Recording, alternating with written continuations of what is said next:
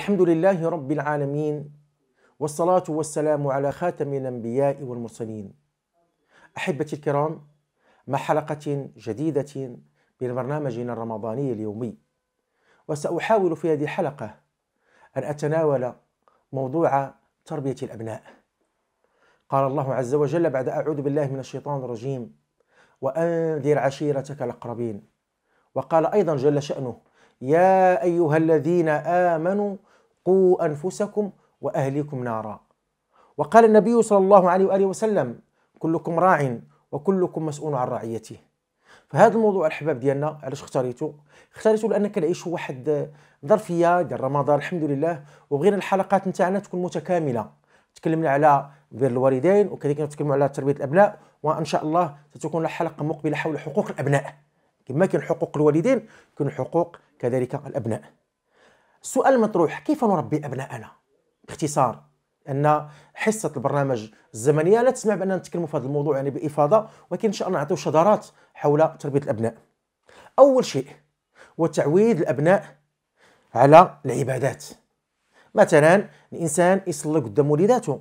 مرة مرة يديو معهم المسجد ويرافقهم مع المسجد.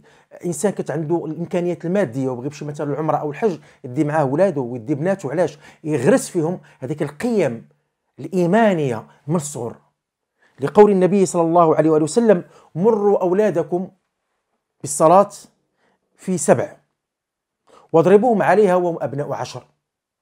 هذا الحديث هذا ربما كثير منا كيحفظوا ولكن مع الأسف كنتجاهلوا في في الحياة العملية. الإنسان يصلي قدام ولادو ويكون قدوة لهم خاص أنا كنعيشوا في الظرف ديال الحجر الصحي وكنصلوا التراويح في ديورنا وكنصلوا المغرب والفجر في في, في بيوت ديالنا. فحبذا الإنسان يشارك وليداته في الصلوات الجماعة وفي النوافل أيضا.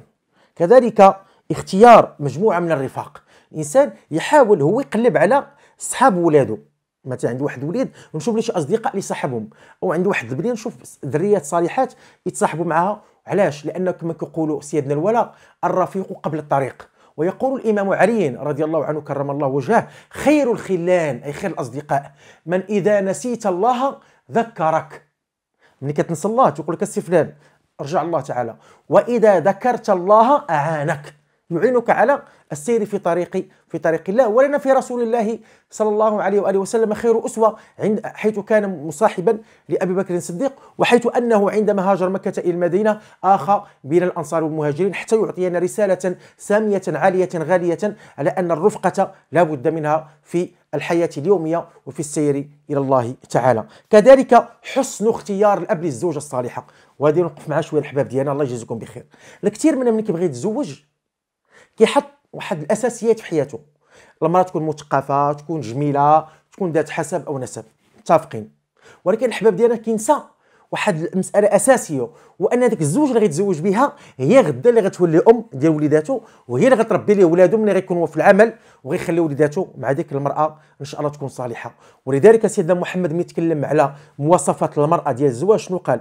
تنكح أي تتزوج تنكح المرأة لاربع لدينها ومالها وجمالها ونسبها. أربعة.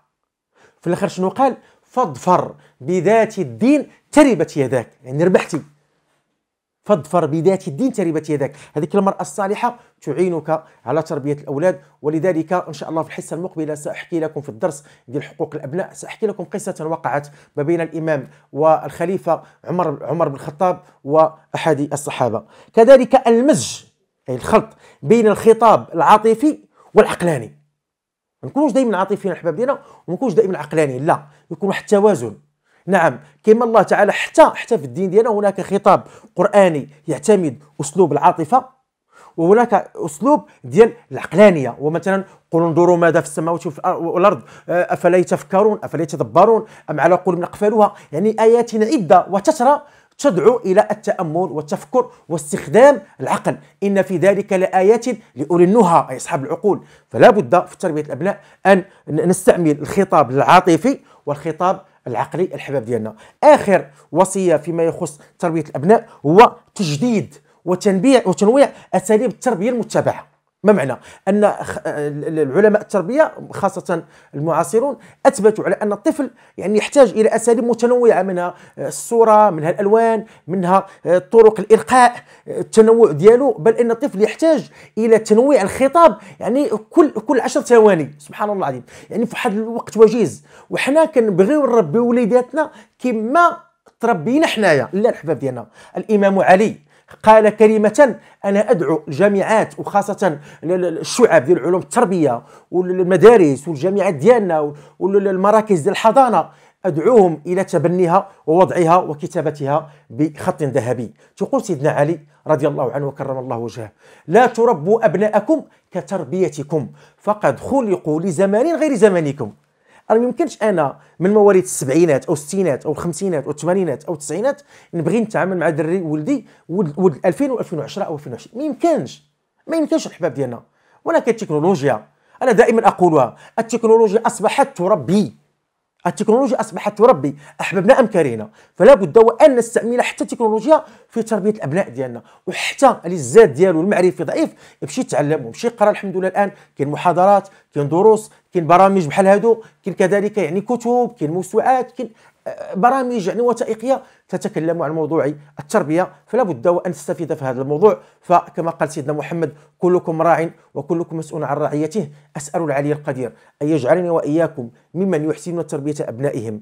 اللهم ربنا هب لنا من أزواجنا وذرياتنا قرة أعين واجعلنا للمتقين إماما. ربي اجعلني مقيم الصلاة ومن ذريتي. ربنا وتقبل دعاء. ربنا وتقبل دعاء. ربنا وتقبل دعاء. اللهم ربنا إنك تعلم أمراضنا فاشفها وتعلم عيوبنا فاسترها وتعلم ذنوبنا فاغفرها وتعلم حاجاتنا فاقضها وتعلم يا ربي أعداءنا فاللهم قنا شرهم اللهم قنا شرهم اللهم قنا شرهم اللهم أخرجنا بين أيديهم سالمين غانمين غير ضالين ولا ضارين ولا مضلين. برحمتك أرحم الراحمين يا رب العالمين. اللهم إنك عفو كريم. تحب العفو فاعف عنا. اللهم صل على سيدنا محمد عبدك ورسولك النبي الأمي وعلى آله وأصحابه وأزواجه أمهات المؤمنين. سبحان ربك رب العزة عما يصفون وسلام على المرسلين. والحمد لله رب العالمين.